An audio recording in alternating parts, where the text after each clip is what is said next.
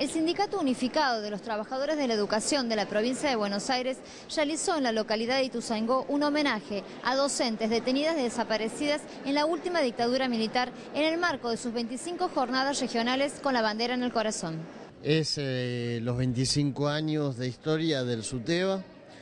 son 25 jornadas que se están haciendo en toda la provincia de Buenos Aires se va a homenajear a aquellas compañeras que, bueno, dieron su vida en esta lucha por, por la unidad del magisterio de la provincia de Buenos Aires. Y va a participar también un compañero de Colombia, el compañero dirigente de la FECODE, que es la Federación de los Docentes de allá, Zenén Niño, que bueno, viene justamente a contar cuál es la realidad en ese país, donde en este año y en la anterior hubo más de 200 docentes sindicalistas asesinados.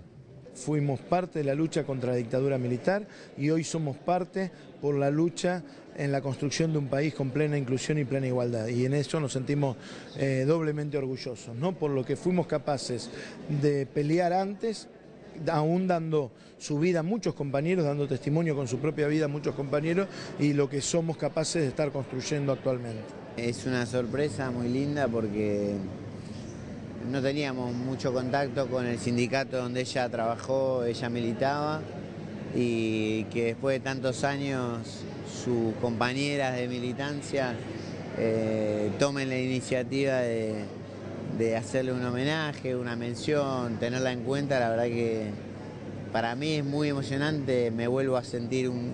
un, niño cada que pasa alguna cosa así, así que estoy muy contento, muy feliz, muy orgulloso. Y que hayan homenajeado a nuestra mamá